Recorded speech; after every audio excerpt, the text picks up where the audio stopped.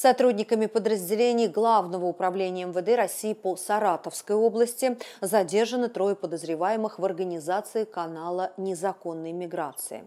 Полицейские установили, что ранее судимый житель одного из сел Ершовского района Саратовской области наладил взаимодействие с диспетчерами и водителями частных компаний, которые специализируются на перевозке трудовых мигрантов.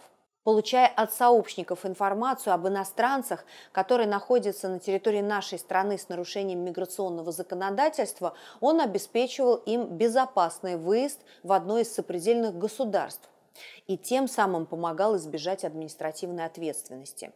За свои услуги получал вознаграждение в размере от полутора до двух тысяч рублей за каждого пассажира.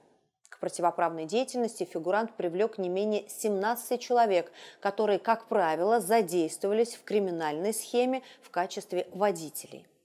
В результате оперативно-розыскных мероприятий, ряд которых проводился во взаимодействии с сотрудниками Главного управления уголовного розыска МВД России, регионального пограничного управления и подразделения ФСБ России по Саратовской области, полицейские при участии Росгвардии задержали предполагаемого организатора и двоих соучастников.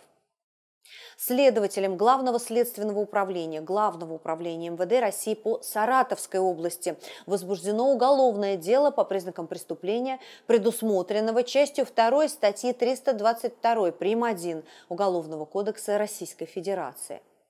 В ходе обысков изъяты денежные средства, 26 паспортов иностранных граждан, сотовые телефоны, сим-карты и транспортные средства – в настоящее время троим фигурантам избраны меры пресечения в виде подписки о невыезде и надлежащем поведении.